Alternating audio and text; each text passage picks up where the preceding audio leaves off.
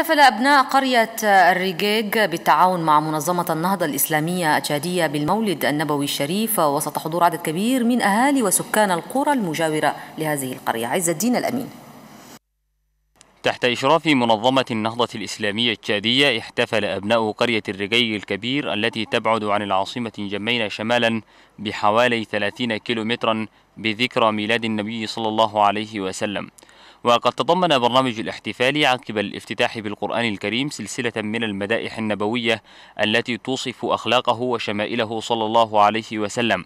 ومن ثم كلمة اللجنة المنظمة للحفل التي قدمها الجوني محمد جد جبريل وشكر فيها جميع من ساهموا في إنجاح هذا الحفل البهيج. وعقبه في الحديث إمام قرية الرقيق الكبير ورئيس مشيخة مقاطعة بط الفيل اللوان أحمد عبد الهادي دمان الذي قال إن هذا الحضور الكبير يدل على المحبة الصادقة للنبي صلى الله عليه وسلم ونشد أهل القرية بضرورة تعليم أبنائهم صفات النبي صلى الله عليه وسلم.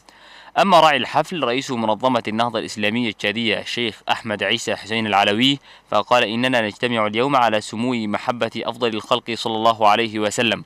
وعدد خلال كلمته المطولة جزءا من صفات النبي صلى الله عليه وسلم وشمائله وحث المسلمين على ضرورة الاقتداء بخلقه وتعليم أبنائهم وفق سنته وتربية جيل محب لرسول الله صلى الله عليه وسلم. هذا وفي ختام الحفل تضرع الحاضرون إلى الله سبحانه وتعالى بأن يحفظ العباد والبلاد وأن يديم نعمة الأمن والاستقرار. وتحت شعار وما أرسلناك إلا رحمة للعالمين احتفلت زاوية الشيخ إبراهيم فضل ميمي بحي دجيل بذكرى ميلاد النبي صلى الله عليه وسلم وسط حضور كبير من المحبين لرسول الله صلى الله عليه وسلم.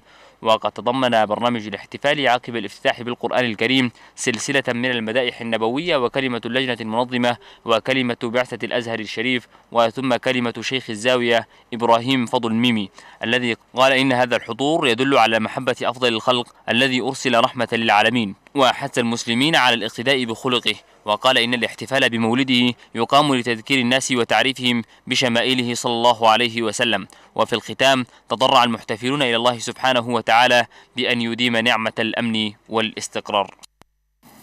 كما احتفلت زاوية الشيخ صالح النور أيضا بالمولد النبوي الشريف وسط حضور عدد كبير من الدعاة والشيوخ. آدم شرف الدين.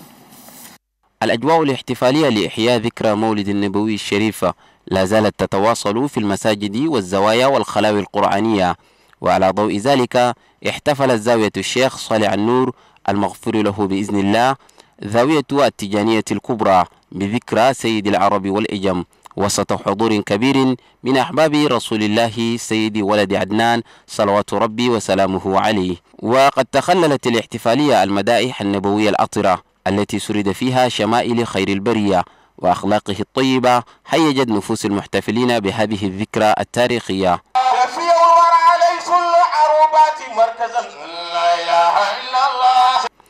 خليفة الشيخ صالح النور أشار إلى معجزات أفضل الخلق الذي وجد فيه العالم الراحة والإطمئنان التام.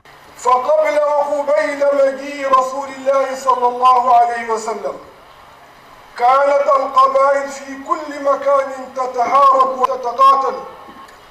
حتى جاء رسولنا محمد عليه الصلاة والسلام رسول الإسلام والسلام الصادق الأمين البشير النذير. ولا يفوتنا إلا أن نقول إن الاحتفال بذكرى ميلاد الرسول صلى الله عليه وسلم أمر ما من شأنه يجلب السلام والأمن في جميع أرجاء البلاد التي تحيي ذكرى مولده صلى الله عليه وسلم.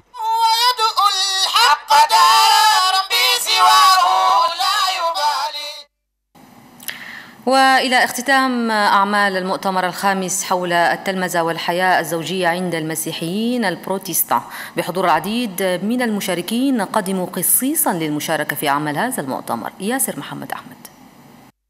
الحياة الزوجية عند المسيحية هو الموضوع الذي تصدر محور فعاليات المؤتمر الذي نظمته الكنيسة البروتستانتية باتيست للبعثات والأعمال بتشاد. ويأتي اختتام أعمال هذا المؤتمر بتقديم كلمة اللجنة المنظمة التي قدمها القيس فلورانا راماجي شاكرا فيها المؤتمرين الثلاث الذين بذلوا قصارى جهدهم من أجل إنجاح فعاليات هذا المؤتمر. طالبا من أتباع الكنيسة التحلي بروح المسؤولية والتضامن الأخوي فيما بينهم من أجل إرساء ثقافة الحوار والوفاق الوطني. من جانبه القيس جان برينو هو الآخر شكر أتباع الكنيسة. طالبا منهم نشر المعلومات وتطبيقها على أرض الواقع. كما تخلل المؤتمر قداس وترانيم تجسد مدى التعايش السلمي والاستقرار.